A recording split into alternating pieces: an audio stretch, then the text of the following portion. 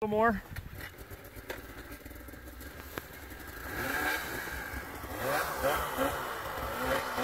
That's good, that's good. Right there. Then Kevin will be right here next to you, Lonnie. Make sure he knows that.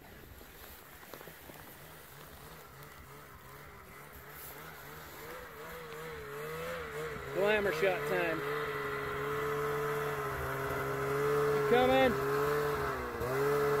Right there. Lonnie, pull yours forward just a tad.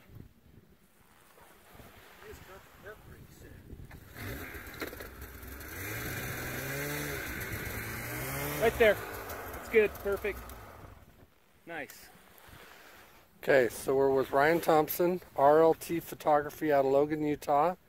We're in, uh, we're actually on in Garner Canyon, on the border basically between Montana and Idaho.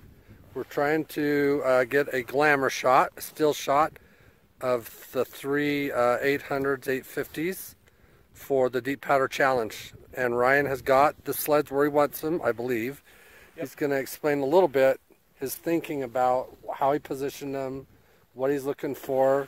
I don't know if you can see the Tetons in the background, but that's the that's the goal. So what are you looking for today?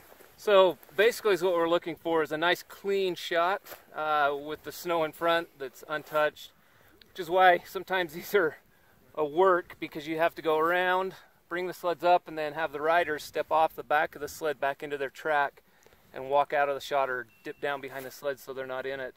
Um, angle of the sun is great. I really like the angle of the sun. And then we've got the Tetons as a backdrop and all of the trees dusted with snow in the background really show the elevation. The nice thing too is that when you're shooting at this angle, something to keep in mind that a lot of people don't do with their photography is keep the ridge tops above the heads or the subjects, in this case the sleds. You want to keep the ridge tops um, higher than the actual top of the sleds. A lot of people make the mistake and get down too low. And they have the handlebars and different things above the ridge top lines. And the better shot is shooting with the mountains above the sleds in the background. So great lighting. It's a little bit hazed over, which it's almost like a studio light. So couldn't ask for better uh, lighting conditions to get this shot. So we're gonna get it.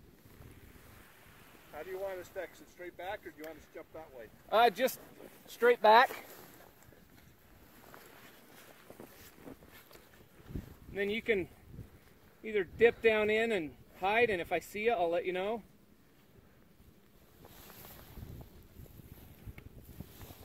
Nice.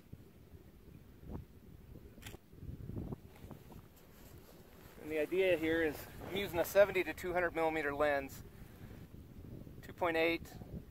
So if I shoot it with it wide open, I'm going to get a lot of depth of field that's blurred out in the background. So I'm going to shoot it at about f8, give me a little bit more visual on the Tetons in the background. We don't want them to completely be fuzzed out or blurred out. And you always want to make sure you're level with the horizon in the background when you shoot. We'll keep a little bit of this tree with the snow on it in the foreground.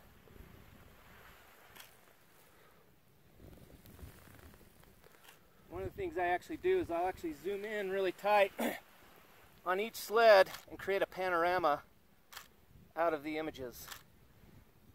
Does two things. It gives you a super high res image, but also allows you to be in much closer.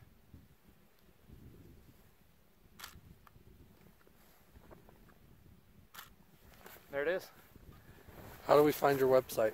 Uh, www.rltphotos.com.